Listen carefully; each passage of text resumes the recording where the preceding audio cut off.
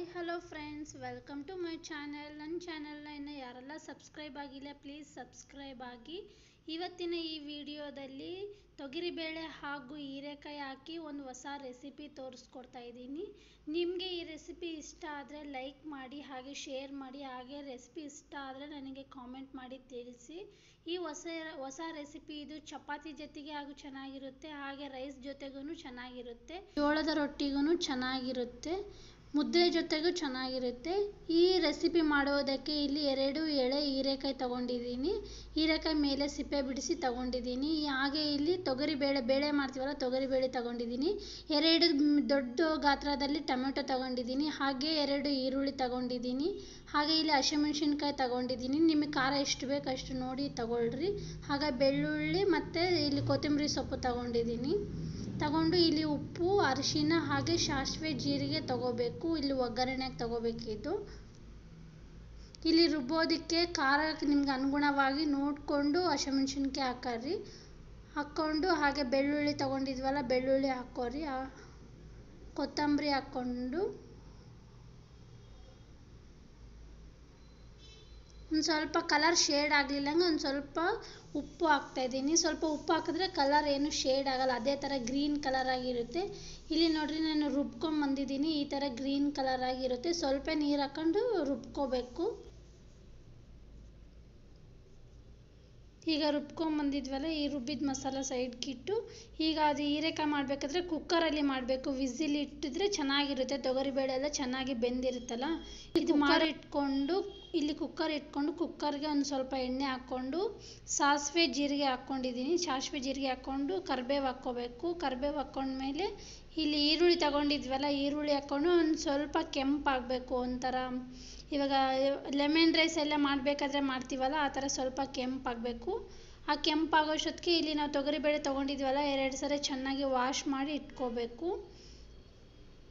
ಈ ಥರ ಆಗಬೇಕು, ಈ ಥರ ಆದರೆ ಸರಿ ಹೋಗುತ್ತೆ, ಒಂಥರ ಸ್ವಲ್ಪ ಕೆಂಪಾಗಿ ಇರಬೇಕು.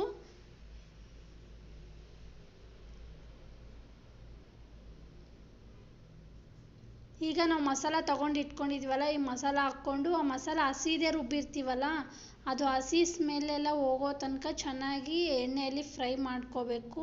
ಆಗ ಈರುಳ್ಳಿಗೆಲ್ಲ ಚೆನ್ನಾಗಿ ಆ ಮಸಾಲೆ ಎಲ್ಲ ಅಂದೋ ತನಕ ಚೆನ್ನಾಗಿ ಫ್ರೈ ಮಾಡ್ಕೋಬೇಕು. ಫ್ಲೇಮ್ ಮೀಡಿಯಮ್ ಫ್ಲೇಮಲ್ಲಿ ಇಟ್ಕೊಂಡು ಚೆನ್ನಾಗಿ ಫ್ರೈ ಮಾಡ್ಕೋಬೇಕು.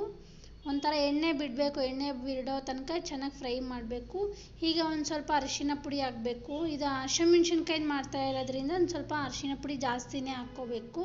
ಹಾಕ್ಕೊಂಡು ಅರಿಶಿನ ಪುಡಿದಲ್ಲಿ ಮಸಾಲೆಯನ್ನು ಫ್ರೈ ಮಾಡಿದ್ರೆ ಅದು ಹಸಿ ವಾಸನೆ ಚೆನ್ನಾಗಿ ಹೋಗುತ್ತೆ.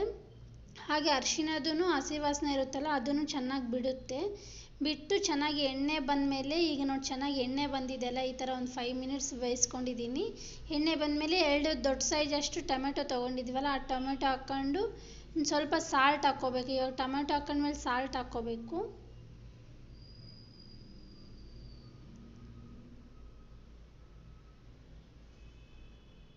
ಸ್ವಲ್ಪ ಸಾಲ್ಟ್ ಹಾಕೊಂಡು ಹಾಕ್ಕೊಳೋದ್ರಿಂದ ಟೊಮೆಟೊ ಜಲ್ದಿ ಬೇಯುತ್ತೆ. ಸಾಲ್ಟಿಂದ ಸ್ವಲ್ಪ ಜಲ್ದಿ ಬೇಯುತ್ತೆ ಅಂತ ಸ್ವಲ್ಪ ಸಾಲ್ಟ್ ಹಾಕ್ಕೊಂಡಿದ್ದೀನಿ ಅಲ್ಲಿ ರುಬ್ಬೋದಕ್ಕೂ ಹಾಕ್ಕೊಂಡಿದ್ವಲ್ಲ ನೋಡ್ಕೊಂಡು ಒಂದು ಚೂರೇ ಹಾಕ್ಕೋಬೇಕು ಸ್ವಲ್ಪ ಹಾಕ್ಕೋಬೇಕು ಇಲ್ಲಿ. ಹಾಕ್ಕೊಂಡು ಚೆನ್ನಾಗಿ ಕೈ ಆಡಿಸ್ತಾ ಇರಬೇಕು. ಫ್ಲೇಮ್ ಸ್ವಲ್ಪ ಮೀಡಿಯಮ್ ಫ್ಲೇಮಲ್ಲಿ ಇರಬೇಕು. ಫುಲ್ ಲೋ ಅಲ್ಲಿಗೂ ಇರಬಾರ್ದು, ತಳ ಒತ್ತುತ್ತೆ. ಈಗ ಮುಚ್ಚಿದ್ರೆ ಒಂದು ಸ್ವಲ್ಪ ಐದು ನಿಮಿಷ ಬಿಟ್ರೆಗಿನ ಟೊಮೆಟೊ ಚೆನ್ನಾಗಿ ಬೆಂದಿರುತ್ತಲ್ಲ ಈಗ ಚೆನ್ನಾಗಿ ಬೆಂದ್ಕೊಂಡಿದೆ ಟಮಟೆ ಎಲ್ಲ. ಒಂದ್ಸರಿ ಕೈ ಆಡಿಸಿದ್ರೆ ಗೊತ್ತಾಗುತ್ತಲ್ಲ ಚೆನ್ನಾಗಿ ಬೆಂದ್ಕೊಂಡಿದೆ. ಹಾಗೆ ನೀರಿಗೂ ಎಲ್ಲ ಹೀರ್ಕೊಂಡಿದೆ ಅದರಲ್ಲಿ.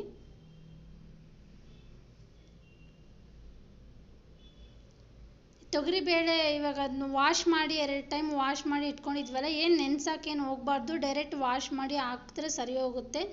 ವಿಸಿಲ್ ಇಡ್ತೀವಲ್ಲ, ವಿಸಿಲ್ ಇಡೋದ್ರಿಂದ ಚೆನ್ನಾಗಿ ಬೇಯುತ್ತೆ. ಟೂ ಟೈಮ್ಸ್ ಚೆನ್ನಾಗಿ ವಾಶ್ ಮಾಡಿ ಈಗ ತೊಗರಿಬೇಳೆ ಹಾಕ್ಕೊಂಡಿದ್ದೀನಿ. ಆ ತೊಗರಿ ಬೇಳೆಗೆ ಚೆನ್ನಾಗಿ ಮಸಾಲೆ, ಈರುಳ್ಳಿ ಎಲ್ಲ ಹೊಂದ್ಕೊಳೋವರೆಗೂ ಚೆನ್ನಾಗಿ ಫ್ರೈ ಮಾಡ್ತಾ ಇರಬೇಕು ಎಣ್ಣೆಯಲ್ಲಿ ಒಂದು ಸ್ವಲ್ಪ ಈ ಥರ ಫ್ರೈ ಮಾಡ್ತಾ ಇರಬೇಕು. ಚೆನ್ನಾಗಿರುತ್ತೆ. ಇದು ಒಂಥರ ಮಾಮೂಲಿ ಹೀರೆಕಾಯಿ ಹಾಕಿ ಪಲ್ಯ ಮಾಡ್ತಿರ್ತಾರೆ. ಇದು ಒಂದು ಸರಿ ಮಾಡಿ ನೋಡಿರಿ ಚೆನ್ನಾಗಿರುತ್ತೆ. ಹಾಗೆ ಈ ಥರ ಫ್ರೈ ಆದಮೇಲೆ ಒಂದು ಸ್ವಲ್ಪ ಎಣ್ಣೆಯಲ್ಲಿ ಆವಾಗಲೇ ಹೀರೆಕಾಯಿ ತೊಗೊಂಡಿದ್ವಲ್ಲ, ಹೀರೆಕಾಯಿ ಚೆನ್ನಾಗಿ ವಾಶ್ ಮಾಡಿ ಇಟ್ಕೊಂಡಿದ್ವಲ್ಲ, ಆ ಹೀರೆಕಾಯಿ ಹಾಕ್ಕೋಬೇಕು. ಇಲ್ಲಿ ಎರಡು ಮೀಡಿಯಮ್ ಸೈಜ್ ಇರು, ಹೀರೆಕಾಯಿ ತೊಗೊಂಡಿದ್ದೀನಿ, ಎಳೆ ಹೀರೆಕಾಯಿ ತೊಗೊಂಡಿದ್ದೀನಿ. ಎಳೆ ತಗೊಂಡ್ರೆ ಸ್ವಲ್ಪ ಪಲ್ಯ ಚೆನ್ನಾಗಾಗುತ್ತೆ ಹಾಗೆ ರುಚಿನೂ ಇರುತ್ತೆ. ಆ ಹೀರೆಕಾಯಿ ಹಾಕಿ ಫುಲ್ ಎಲ್ಲ ಮಿಕ್ಸ್ ಮಾಡಬೇಕು. ನೀರೇನು ಹಾಕಬಾರ್ದು ಲೋ ಫ್ಲೇಮಲ್ಲಿ ಇಟ್ಕೊಂಡು ಚೆನ್ನಾಗಿ ಈ ಥರ ಮಿಕ್ಸ್ ಮಾಡ್ಕೋಬೇಕು, ಎಲ್ಲ ಮಸಾಲೆ ಅಂದೋ ತನಕ. ಈಗ ಮುಚ್ಚಳ ಮುಚ್ಚಿ ಒಂದು ಐದು ನಿಮಿಷ ಬೇಯಿಸಿದ್ರೆ ಅದು ಹೀರೆಕಾಯಿ ಹಸಿ ಎಲ್ಲ ಹೋಗುತ್ತಲ್ಲ, ಚೆನ್ನಾಗಿರುತ್ತೆ. ಈ ಥರ ಒಂದು ಸ್ವಲ್ಪ ಎಣ್ಣೆನಲ್ಲೇ ಫ್ರೈ ಮಾಡಬೇಕು ಹೀರೆಕಾಯಿ. ಆ ಟೇಸ್ಟ್ ಚೆನ್ನಾಗಿರುತ್ತೆ ಎಣ್ಣೆನಲ್ಲೇ ಎಷ್ಟೊತ್ತು ಚೆನ್ನಾಗಿ ಫ್ರೈ ಮಾಡ್ತೀವಿ ಅಷ್ಟೊತ್ತು ತನಕ ಚೆನ್ನಾಗಿರುತ್ತೆ.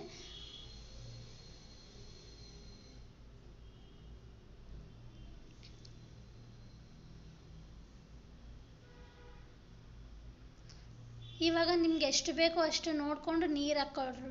ಹಾಕ್ಕೊಳ್ರಿ ಇಲ್ಲಿ ನೀರು ಜಾಸ್ತಿ ಹಾಕ್ಕೋಬಾರ್ದು ಒಂದು ಸ್ವಲ್ಪ ಗಟ್ಟಿ ಬೇಳೆ ಮಾಡ್ತೀವಲ್ಲ, ಆ ಥರನೇ ಇರಬೇಕು. ಜಾಸ್ತಿ ನೀರು ಹಾಕ್ಕೊಂಡ್ರೂ ಟೇಸ್ಟ್ ಬರಲ್ಲ ಅಷ್ಟೊಂದು. ಈ ಥರ ನಾನು ಇಲ್ಲಿ ತೋರಿಸ್ತಾ ಇದ್ದೀನಲ್ಲ, ಅಷ್ಟು ನೀರು ಹಾಕ್ಕೊಂಡ್ರೆ ವಿಸಿಲ್ಗೆ ಇಟ್ಮೇಲೆ ಚೆನ್ನಾಗಿ ಮಾಮೂಲಾಗಿ ಬರುತ್ತೆ ವಿಸಿಲ್ಗೆ ಇಟ್ಮೇಲೆ ಲಾಸ್ಟಲ್ಲಿ ಒಂದು ಸ್ವಲ್ಪ ಕಸೂರಿ ಮೆಂತಿ ಹಾಕ್ಕೊತಾ ಇದ್ದೀನಿ. ಇದು ಹೋಮ್ ಮೇಡ್ ಕಸೂರಿ ಮೆಂತಿ. ನಾನೇ ಮಾಡ್ಕೊಂಡಿದ್ದೀನಿ. ಬೇಕಂದರೆ ಹೇಳ್ರಿ, ಆ ರೆಸಿಪಿ ನಿಮಗೆ ತೋರಿಸ್ತೀನಿ, ಹೆಂಗೆ ಮಾಡೋದಂತ ಹೇಳಿ ಈಗ ಈ ಥರ ಕುದಿ ಇಡುತ್ತಲ್ಲ, ಕುದಿ ಹಿಡಿದ್ಮೇಲೆ ವಿಸಿಲ್ಗೆ ಹಾಕ್ಕೋಬೇಕು.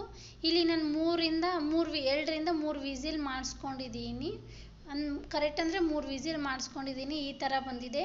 ಇದು ಒಂಥರ ಹೊಸ ರೆಸಿಪಿ ಒಂದ್ಸರಿ ಟ್ರೈ ಮಾಡಿ ನೋಡಿರಿ ಹೇಗಿರುತ್ತೆ ಅಂತ. ಲಾಸ್ಟಿಗೆ ಗಾರ್ನಿಷ್ಗೆ ಒಂದು ಸ್ವಲ್ಪ ಕೊತ್ತಂಬರಿ ಹಾಕ್ಕೊಂಡಿದ್ದೀನಿ ಇದು ಆಪ್ಷನಲ್ ಬೇಕಂದರೆ ಹಾಕ್ಕೋಬೋದು, ಇಲ್ಲಾಂದರೆ ಇಲ್ಲ. ನಾನು ಸ್ವಲ್ಪ ಸುಮ್ಮನೆ ಚೆನ್ನಾಗಿರುತ್ತೆ ಅಂತ ಹಾಕ್ಕೊಂಡಿದ್ದೀನಿ ಒಂದ್ಸರಿ ಮಾಡಿ ನೋಡಿರಿ ಚೆನ್ನಾಗಿರುತ್ತೆ. ಯಾವಾಗಲೂ ಬೇಳೆ ತಿಂದಿರ್ತೀವ, ಈ ಥರ ಹೀರೆಕಾಯಿ ಸಪ್ರೇಟಾಗಿ ಪಲ್ಯ ಮಾಡ್ಕೊಂಡು ತಿಂತೀವಿ.